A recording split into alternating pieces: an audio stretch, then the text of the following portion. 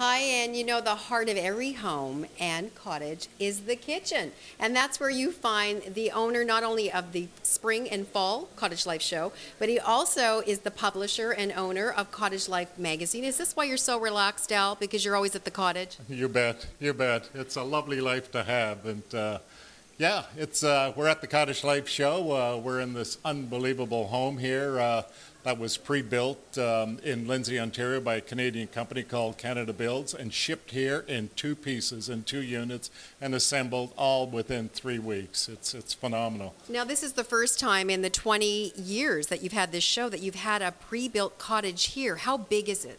Yes, it's a thousand square feet. Uh, it's two bedrooms, a beautiful open living room, uh, a dining room, kitchen area, ensuite bathroom, two bathrooms, as a matter of fact, and even a doggy wash area.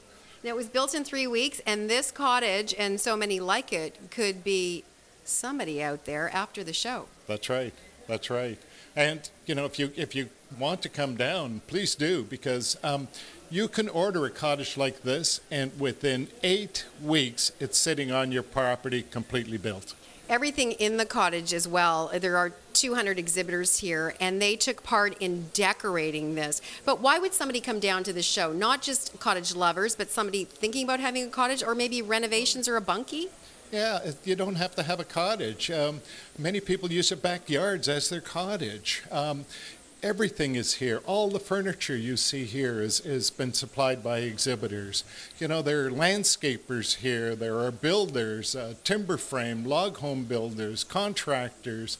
Everything you want, hot tubs, uh, uh, saunas, it's all available here. And so much of it can be used right in the city itself. That's right, and everything's under one roof, and the show is on till 8 o'clock tonight. There's not a lot of crowds right now, so you can come on down and take a really nice look. Or the doors open tomorrow at the International Center, Hall 5, at 9 a.m., and the show closes Sunday at 5. Thanks so much, Al. Thank you very My much. for cameraman, being here, Jimmy, who's been working hard all day, wants to know if that fridge is full of beer. Very quickly. Uh, it won't Good, be. good answer.